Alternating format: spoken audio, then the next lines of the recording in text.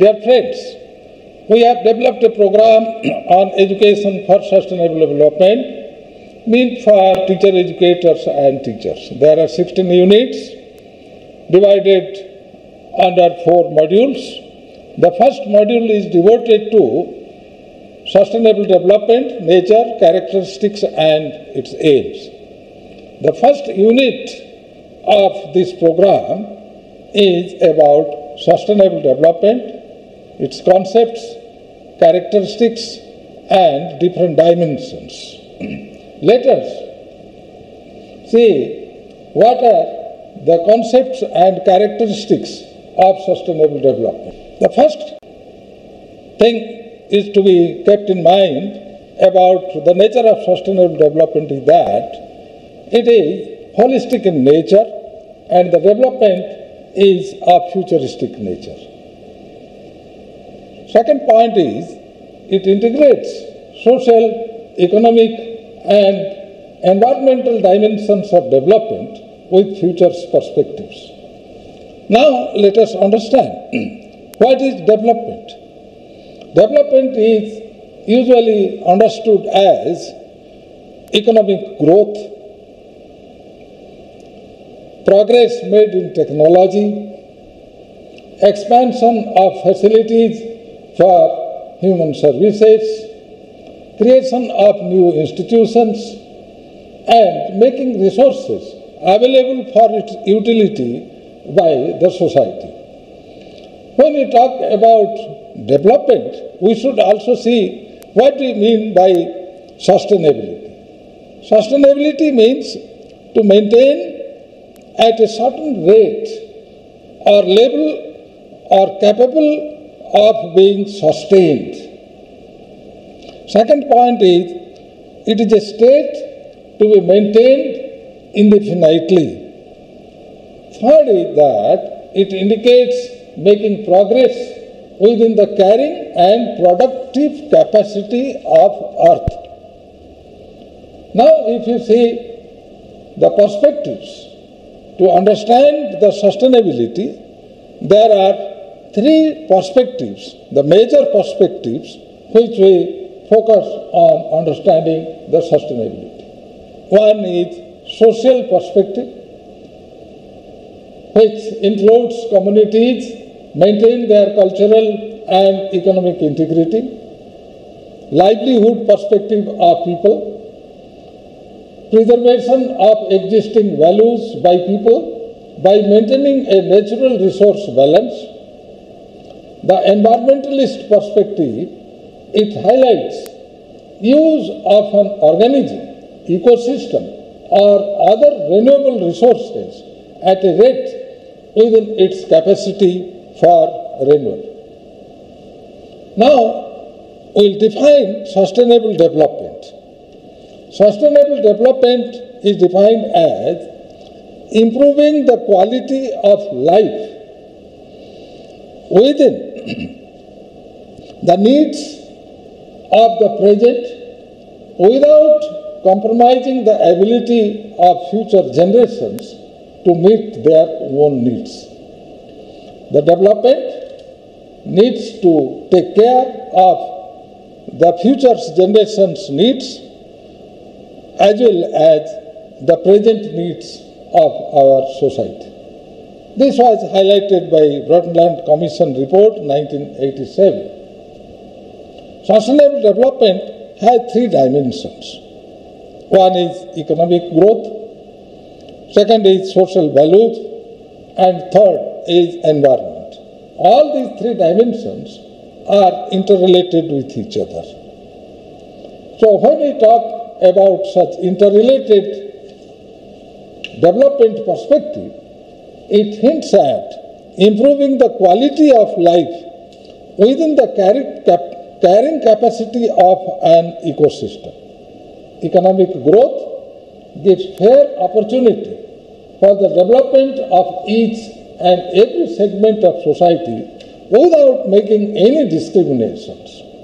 The third is social and economic development while protecting the natural environment and social equity. Hence, we can see this concept as an integration of conservation and development to ensure the modifications to the planet do indeed secure the survival and well-being of the people. Hence, when we defined sustainable development as the development that meets the needs of the present without compromising the ability of future generations to meet their own needs is well justified. Let us see what we mean by these needs? The needs means it indicates meeting the essential needs of the poor people of the world. Here it means essential needs. Environmental ability means the environment should be conserved to meet the present needs as well as the future needs. There are different conferences and declarations that have been made about the concept of sustainable development and the progress that has been made over past 50 years. The United Nations Conference on Environment and Development was first discussed in 1972. And after that, the United Nations Conference on Environment and Development, which is known as UNCED, in 1992 at Rio de Janeiro, uh, which is known as Earth Summit, it talked about the right to development must be fulfilled so as to equitably meet developmental and environmental needs of present and future generations. Following that, in next decade, the World Summit on Sustainable Development, which is known as WSSD 2002, it talked about sustainable development as the new global sustainable development goals for full implementation by the year 2030 at world level. It came out with the details list of sustainable development goals, which will be discussed in the last, third unit of this particular course. What are the challenges that are faced in the context of the sustainable development and sustainability? The first challenge faced at the world level is to end poverty and hunger everywhere. The second challenge we come across is combating qualities within and among countries. The disparities that exist within the country and disparities that exist among the countries, how it will be combated. Next is the peaceful, just and inclusive societies. No discrimination among people, and every community must share the benefits of the world without having any discrimination. Protecting human rights and promoting gender equality and the empowerment of women and girls. And then lastly, the protection of planet and its natural resources. So here, the three dimensions of economic, social, and environmental aspects have been covered in these reports. Next is what are the suggestions we can give about sustainable development? That is, about consumption and production patterns must cope with natural resources. Democracy, good governance, and the rule of law must integrate with sustainable and inclusive economic growth, social development, environmental protection, and eradication of poverty and hunger. Climate sensitive attitude and respect to diversity. Harmony with nature where biodiversity is projected in full sense. Let us talk about the aims. The aims of sustainable development envisage a world where every country enjoys inclusive and sustainable economic growth. The consumption and production patterns must cope with natural resources. It aims to envisage a world where democracy, good governance, and the rule of law must be integrated with sustainable and inclusive economic growth, social development, environmental protection, eradication of poverty and hunger. It aims to envisage a world where development process and application of technology need to be climate sensitive with respect to biodiversity. Humanity lives in harmony with nature where biodiversity is protected in full sense. Let us focus on the vision of sustainable development. From social fronts, economic fronts, and civic fronts, we come across different visions.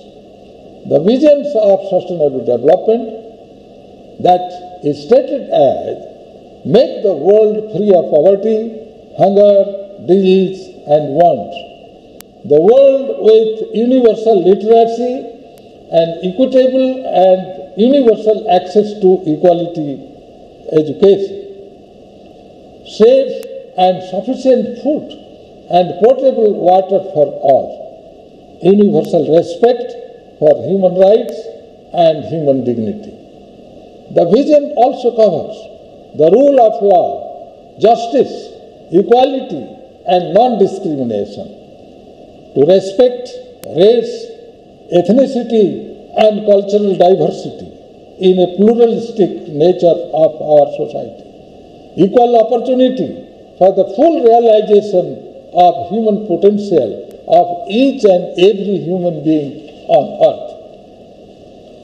The vision also continues to insist on every child grows up with free from violence and any kind of exploitation.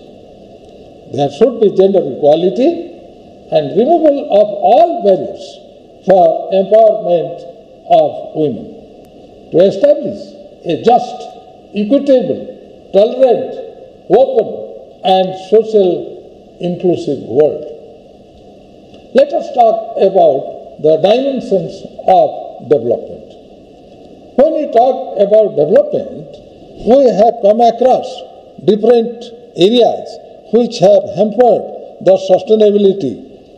The first one is industrialization. The industrialization has caused a lot of damage to our environment by making use of resources and making use of extrapolating, exploiting the resources by means of different kinds of heavy machines and mechanical gadgets, we have created lot of pollutants in our environment. The second part is the urbanization. The urbanization has caused migrations in a very uneven manner where the rural people living their own ancestral and cultural affinity, they move to the urban settlements where the disparities exist between the means of livelihood and facilities available for sustainability in their livelihood. Third is inequities. Inequity means in terms of geographic locations, we find some development villages and backward villages, developed cities, mega cities, and poor towns and poor communities. There are very progressive countries with all affluent technologies and the countries with no technology or least technology and least development. The resource utilization has also caused a lot of damage to our environment where the exploitation of resources takes place from one part of the world. By leaving nothing, for the people who are inhabited in that particular geographic area and very few people who inhabit in developed countries they exploit resources and they sit at the helm of affairs by neglecting the requirements of poor people habituated in the backward countries. The industrialization and developed, the developed countries exploit the resources, northern countries advanced as compared to southern countries, uneven growth lead to creation of regional disparity, harmful gases in the air causes high pollution, extinction of several species from the earth, urbanization and development, uneven expansion of urban areas. Cities depend on the resources supplied by the rural areas. Migration of rural workforce to the urban areas, it leads to imbalance in rural economy, particularly the agro-economy and people's dependence on the self-reliance in the rural areas. Farmers losing agricultural lands. The productivity activities of rural areas are diminished by monopoly of the market economy. The farmers are tempted to shift focus from agriculture to other farm-related occupations, which leads to unemployment and unstable pattern of earning of people.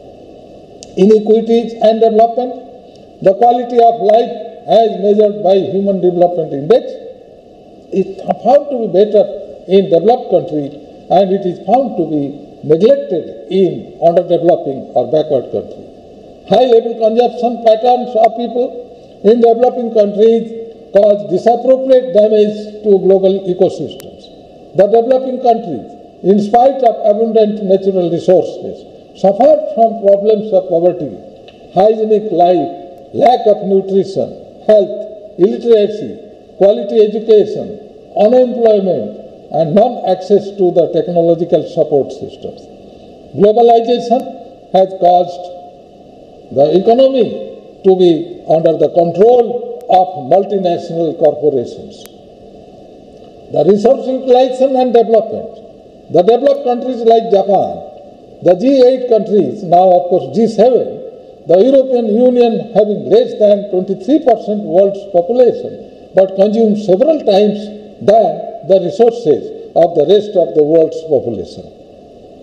The CFC, chlorofluorocarbon gas, is released to a high extent by countries like China, South Korea, and Russia. The poor countries are bound to over-extract their resources to the multinational corporations without much restrictions with a view to repay debts from international organizations. The mission of Human Development Project, it said that at international level, through the initiatives of UN and UNESCO, it said that it must contribute towards expansion of opportunities, choice, and freedom. The assumptions of human development that say that the development can enable people to make choices. Development is linked with creation of a conducive environment to develop people. People develop their capabilities to lead a productive life in accordance with their needs and creative lives and priorities. Development is beyond the formation of human capabilities. What it says, the development, it leads to realization of human capabilities in every possible sphere of life. Human freedom is an essential component of development. Free people can make better choices in life. Those who are dependent on others, they cannot make choices for their life. Hence, it insists on autonomy of people and freedom of people. It includes participatory approach and people's initiative in the development process. It is not the monopoly of any central organization to take decision for others. Rather, people in group through collaborative and cooperative ventures can make initiatives for their own development. Here, when we focus on Millennium Development Goals set by United Nations, it talked about eradicate extreme poverty and hunger. Second talked about achieve universal primary education, quality primary education, promote gender equality and empower women, reduce child mortality, improve maternal health, combat HIV, AIDS, malaria, and other communicable disease, ensure environmental sustainability, and a global partnership for development. These eight areas have been discussed in detail by United Nations document on Millennium Development Goals. Now, when we talk about the dimensions of Human Development Index, we come across there are three dimensions. One dimension is a decent standard of living for each and every human being, the long and healthy life, and knowledgeable society. The first part says that when we talk about a decent standard of living, then we must have proper per capita income and it must have its major contributions for gross national imports and the GNI index that measures that what is the per capita income and our expenditure for a decent standard of living. The second part talks about life expectancy index. The life expectancy index says that what is the life expectancy at birth and how we maintain a long and healthy life. The third dimension is related to our field called knowledge or education. It means the education index will indicate that how many years of schooling we complete with success and the expected years of schooling and how we complete our school education with quality. When we talk about gender development index, such index is on the three developments are calculated for female and male population respectively. The gender inequality index is also calculated. Human development index of a country takes into account gender inequality, male and female, by SDI female, on the dimensions of long, healthy life and knowledge the indicators of sustainable development. There are indicators of four areas called as social, environmental, economic, and institutional. Sustainable development parameters are four. One is social dimension. The social dimension talks about the equity and health. The sub themes are the poverty, gender equality, nutritional status, the morality, mortality rate, sanitation, drinking water, health care delivery. And the indicators are the percentage of people living below poverty line and the income inequality and unemployment rate.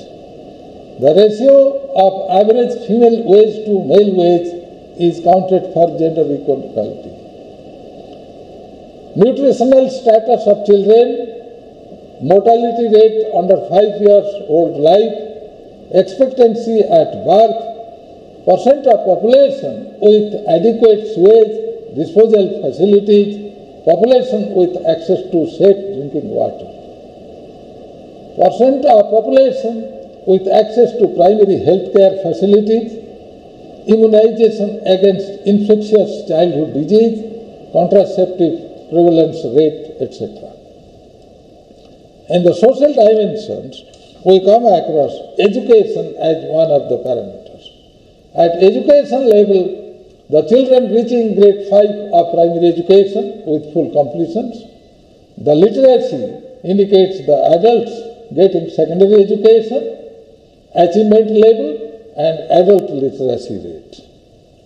The housing the living conditions of people, the floor area per person, security, the crime rates, how it is to be reduced, and the number of recorded crimes per 1 lakh population. The population indicator, the population change, the population growth rate, and population of urban, formal, and informal habitations. The second dimension is environmental aspects of sustainable development. The theme is atmosphere, and sub-theme is climate change, ozone layer depletion, air quality. The indicators are emission of greenhouse gases, consumption of ozone depleting substances, ambient concentration of air pollutions in urban areas. The land dimension is the agriculture, forests, vegetification, urbanizations, arable and permanent cropland area, use of agricultural pesticides, forest area as a percent of land area, wood harvesting, intensity, land affected by desertification, areas of urban, formal and informal settlements. The environmental dimensions also continues the themes such as the oceans, seas and coasts. Sub-themes cover coastal zones. The fresh water, it covers the fisheries, water quantity and water quality. The biodiversity, it covers ecosystems and species. There are indicators have been discussed in detail on the environmental dimensions of the sustainability. The economic dimensions talks about the economic structure, consumption and production patterns. Consumption and production patterns are directly related to material consumption and energy use, and the economic structure is directly linked to economic performance, trade, and financial status. The indicator of economic sustainable development it covers the GDP per capita investment share and share in GDP balance of trade in goods and services, debt to GNP ratio, total ODA given or received as percentage of GNP. The material consumption and energy use, it covers annual catch by major species, annual withdrawal of the ground and surface water as a percent of total available water BOD in water bodies. The consumption and production pattern also covers the waste generation and its management, particularly in the context of urban areas. The generation of industrial, municipal solid waste, generations of hazardous waste and waste management of radioactive materials and waste recycling and reuse is a great challenge. The transportations index that say that how far, the how much distance traveled per capita by the mode of transport. The last part of sustainable development is the institutional framework.